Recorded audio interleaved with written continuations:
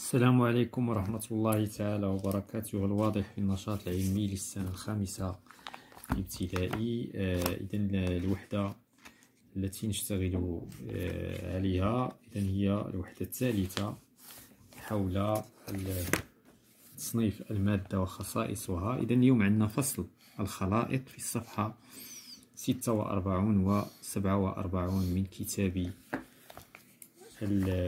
الواضح. إذا ننتقل إلى الصفحة ستة وأربعون. إذا آه، فصل مكونات خليط. إذا اليوم غنتعرفوا على التقنيات التي ستساعدنا لفصل الخلائط. إذا نبدأ بالملاحظة والتساؤل. اشتد العطش بسمير تناول كأسا وفتح الصنبور. فلاحظ أن الماء قد صار عكرا فامتنع عن الشرب. وأغلق الصنبور.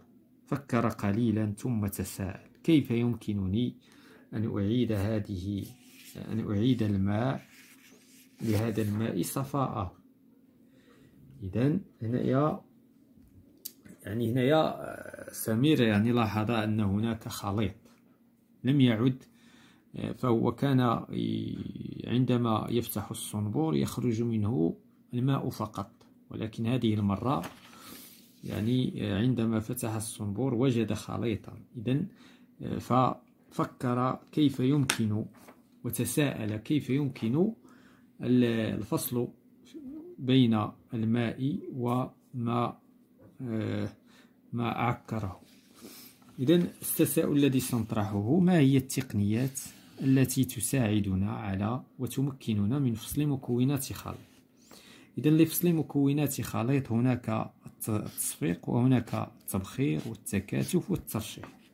وبالنسبة لهذين التقنيتين كنجمعهم في التقطير التقطير إذا هذا ما سنتطرق إليه في هذه الحصة. إذا سنختبر فرضياتنا. إذا نبدأ بالنشاط الأول. أتعرف تقنية فصل مكونات خليط غير غير متجانس. إذا بعد شنو هو خليط؟ شنو هو غير متجانس؟ فالخليط هو هو الذي يتكون على الأقل من مكونين أو أكثر. على الأقل جوج المكونات أو أكثر. إذن هذا يسمى خليط. والخليط يمكن أن يكون بين جسمين سائلين كما يمكن بين جسم صلب وسائل كما يمكن أن يكون بين جسمين صلبين كما يمكن أن يكون بين غاز وسائل. إذا هذا هو المفهوم الخليط.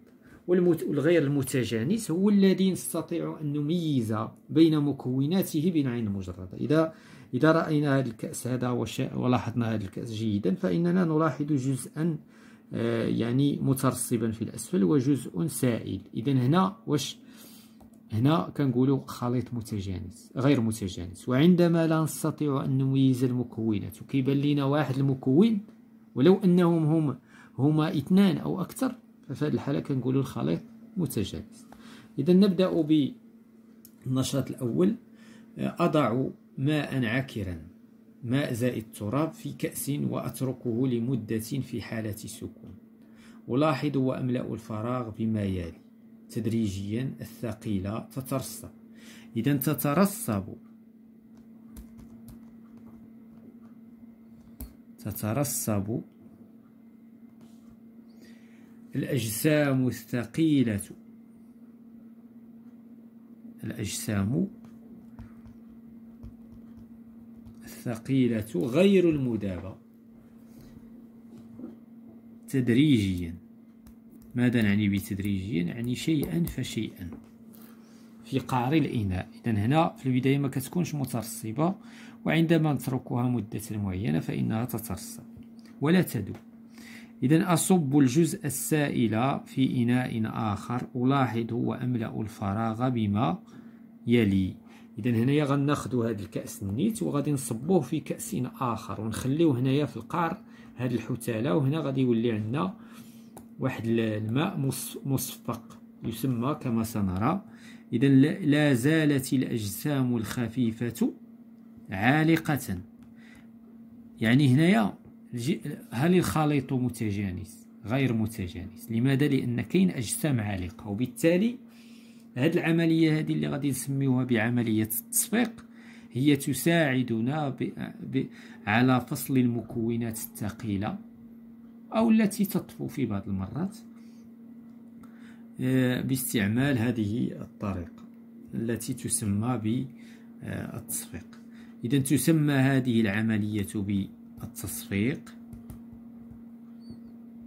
والماء المحصل عليه يسمى يطلق عليه الماء المصفق. إذا هذا الماء المصفق وهذه الحتالة بقيت في قعر الكأس.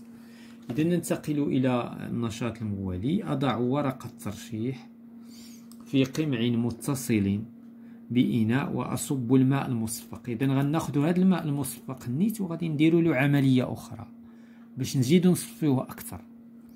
إذا ألاحظ وأعبر وأملأ الفراغات إذا هنايا غادي ناخدو ورقة الترشيح ثم نأخذ الكأس الذي آه يعني آه الماء المصفق ثم نصبه في ورقة الترشيح فنحصل على رشاحة إذا هنايا العملية اللي قمنا بها ولو والأجسام العالقة تبقى في في ورقة الترشيح إذا آه ماذا سنقول؟ تترسب. إذا تترسب الأجسام تترسب الأجسام الخفيفة التي كانت عالقة عالقة بالماء. فين كترسب على ورق الترشيح؟ بينما ينفذ. ماذا يعني ينفذ؟ يعني يعني يمر عبر ورق الترشيح يعني يعني آه، ينفذ نحو الأسفل. الماء إلى القنينة عبر ورق الترشيح صافيا. تسمى هذه العملية بالترشيح. الترشيح والماء المحصل عليه بالرشح. إذا هنا الخلاصة نتاع هذه الأنشطة هذه. النشاط الأول هو أن كاين عندنا التصفيق وكاين عندنا الترشيح. التصفيق كينتج عليه الماء المصفق وكي الهدف منه هو أنه يعزل لنا أو يفصل لنا الأجسام الثقيلة. بينما الترشيح هو ينتج عنه الرشاحة والهدف منه من استعمال هذه التقنية هو فصل الأجسام العالقة التي توجد في وسط السائل. إذا ننتقل إلى l'activité numéro 2 comment extraire du sel de l'eau? salée إذا كيفاش غادي نفصلو ولا غادي نحذفو الملح الذي المذاب في الماء؟ الماء المالح. الماء المالح هو لو صالي عندنا ماء مالح كيفاش غادي نقدروا نحذفوه حنا هنا في هذه الحالة عندنا خليط متجانس ما كيبانناش حنا الملح.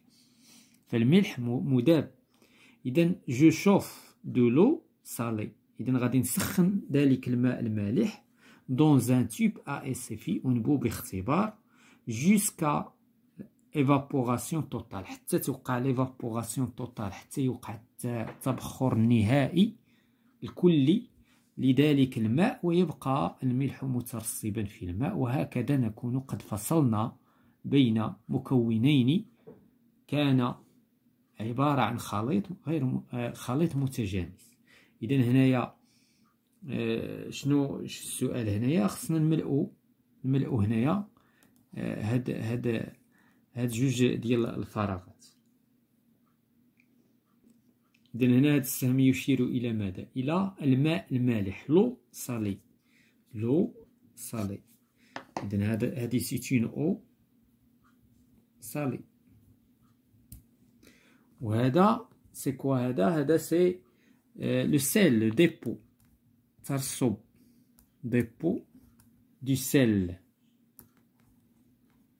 ترسب الملح الأسفل Donc j'observe le, et je légende le, le, document 6, nous avons légendé, et je m'exprime en complétant par évaporation extrait. Donc on extrait يعني نفصل ونعزل on extrait ونستخرج on extrait نستخرج le sel de l'eau par quoi par l'évaporation واش استخرجناه بلا فلتراسيون بالترشيح ولا ب la décantation non donc استخرجناه la décantation pardon واش ب la décantation ولا ب l'évaporation ولا بلا donc l'évaporation هي اللي كتخلينا نفصلو جوج ديال المكونات ديال خليط متجانس النشاط الثالث اكتشف تقنية فصل مكونات خليط متجانس اذا هذه هي التقنية هذه التقنية هي la distillation هذه هي la distillation comme j'ai dit au début ديال la séance إذا غادي نشوفو دابا الطريقة بواسطة موقد أسخن محلول الملح في حوجلة. هذه هي الحوجلة. ثم أعرض قطعة زجاج باردة. إذا غنديرو واحد القطعة ديال الزجاج أولا مقلاة أو شيء من هذا القبيل. وتكون مائلة على أساس البخار ديال الماء غادي يبدا يضرب في هاد الزجاجة الباردة وعندما يبرد يتكاثف ويتحول إلى قطرات الماء. حينئذ غادي يبداو قطرات الماء كي يعني كي يعني كتصب في هذا في هذا في هذا الكأس. وفي النهاية نحصل على الماء في هذه الكأس ونحصل على الملح مرصب في الحوجالة. إذا هنا ألاحظ وأتمم ما يلي؟ إذا ينفصل التقطير بخار يتكاثف يتكتف. الحقيقة كنقولو يتكاثف يتبخر الماء في إذا أعني يتبخر الماء فينفصل. يعني هنا الماء ملي كيتبخر كينفصل كيتعزل.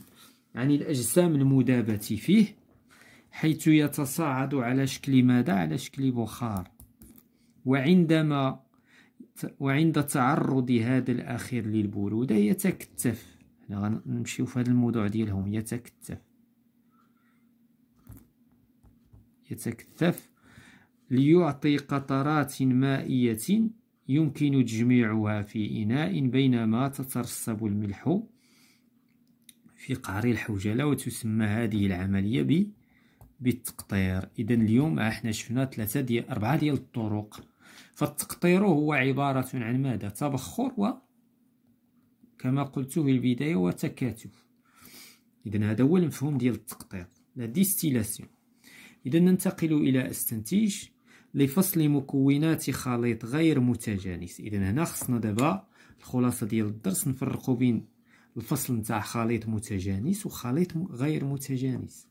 بالنسبة للخليط غير متجانس يحتوي على أجسام ثقيلة نقوم بعملية التصفيق. كنديرو عملية التصفيق. لفصل مكونات خليط يحتوي على أجسام حتى هو غير متجانس حتى هو غير متجانس. هنا كذلك الخليط اللي فيه أجسام عالقة كذلك فهو خليط غير متجانس. نقوم بعملية الترشيح. ولفصل مكونات خليط متجانس. إذا هنا نلجأ إلى عملية التقطير التي هي كما قلنا هي تبخر متبوع بتكاتف أو تكتف. إذا هذا هو ملخص هذه الحصة. إذا ننتقل إلى أطبق. إذا أردت أو أرادت فاطمة الحصول الحصول على ماء صاف من خليط غير متجانس. به أجسام خفيفة عالقة. أحدد لفاطمة الطريقة المناسبة. إذا هنا إلا بغينا نجاوب على هذا السؤال نشوفوا شنو قالوا لنا قالوا لنا أجسام عالقة. فاش كنقولوا أجسام عالقة؟ يعني جاية في الوسط ديال الخليط. عملية التصفيق لا تصلح. لأن الخليط لأن ما كاينش واحد لا سيباغاسيون ما كاينش واحد. فوقاش كتنفعنا طريقة التصفيق؟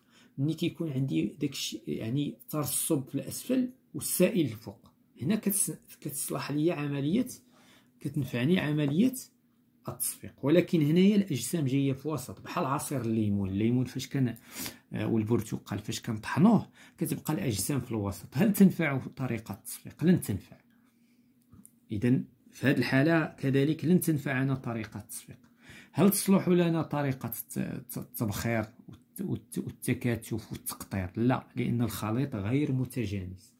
هذه الطريقة التقطير تنفع عندما يتعلق الأمر بخليط متجانس. إذا الطريقة التي تنفعنا هنا وتصلح لفصل هذين الخليط هذا الخليط غير المتجانس هي طريقة أو تقنية الترشيح. La maman de Samir a versé de l'eau sur l'huile par erreur يعني الأم نتاع سمير كبات صبات الماء في الزيت Je propose la méthode convenable pour séparer l'huile de l'eau إذا une fois la maman de سمير غادي تصب الماء في الزيت الماء غادي ياخذ لاكوش ديال الاسفل والزيت غادي تكون من الفوق. علاش؟ لأن الزيت خفيفة. الكتله الحجميه نتاعها صغيرة بارابور. اذا هنا شنو هي الطريقة الأفضل؟ هي التصفيق. علاش؟ لأن هناك كيبان لنا العزل. اذا دائما غير نشوفوا بأن عندنا يعني المكونين ديال الخليط معزولين كنفكروا في التصفيق.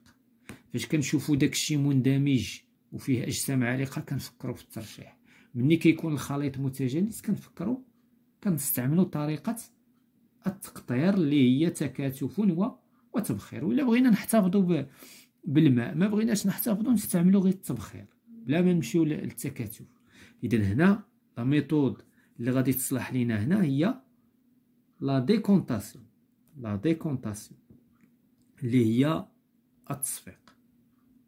la décantation la décantation c'est la méthode convenable في هذه الحالة هذه donc هذا كل ما يتعلق بهذه الحصة حول فصل الخلائط من كتاب الواضح موعدنا مع تقويم هذه الوحدة في حصة قادمة بحول الله.